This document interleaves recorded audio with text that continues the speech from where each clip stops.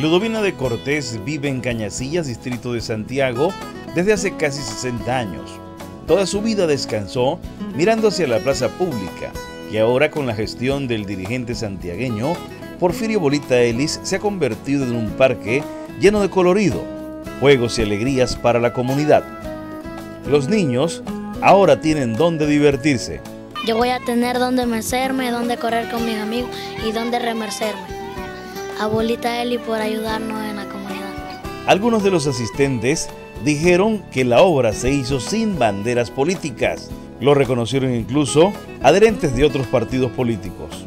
Y ahora pues también nos sentimos orgullosos del equipo del señor eh, Porfirio que donó al parque que iniciamos nosotros eh, unos juegos eh, infantiles. Porfirio Eli señala que este centro de esparcimiento ayuda a unir a la familia de Santiago. Para mí los niños significan todo. Soy padre de cuatro hijos. Quiero que sepas que lo es todo. Compartir con los niños. Yo siempre he tenido una premisa, que en cada niño humilde hay una sonrisa dormida.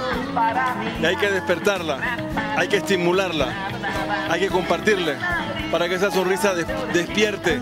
Y hoy hay muchas sonrisas despertadas aquí de estos niños, que es lo que ha permitido a nosotros trabajar con ellos.